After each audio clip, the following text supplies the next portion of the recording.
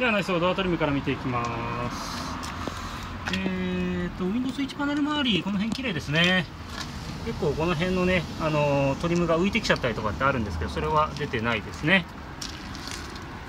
こんな感じです。でこれですね。ちょっとこう切られてるんですよね。こっち側はあるんですけどね。でえっ、ー、とレカロシートまあちょっとくすんでるところはあるかな。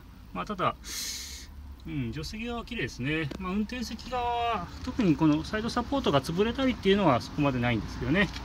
でステアリングはエアバッグ付きですけど結構ガサガサになっちゃってるのでまあ交換おすすめですかね。で、えー、ダッシュボードです。まあここら辺は綺麗な感じですね。カロッツェリアの、えー、CD デッキ USB ポート付き。シフトブーツ周りは綺麗な感じですね。えー、ちょっとエンジンかけてみたいと思います。まあ、エンジンのかかりは非常にスムーズですね。スパッとかかります。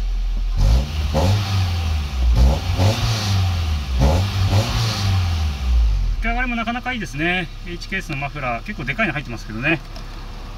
はい。ではリアシートとトランクを見てみたいと思います。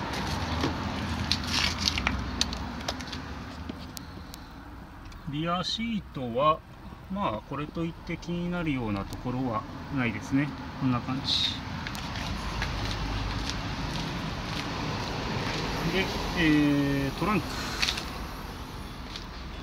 ちらも特になんかトリム類が削られてるとか欠品してるとかっていうのもないですね。で、えー、トランクフロアの方も結構綺麗な感じですね。こんな感じ。助手席です。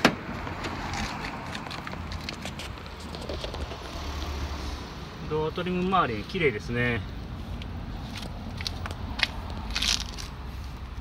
まあ内装は運転席のねちょっとフロアマットのところは一部ちょっとカットされてますけどもあとまあステアリングがガサガサしてるかなっていうところぐらいで他は結構ね綺麗な状態かなと思います。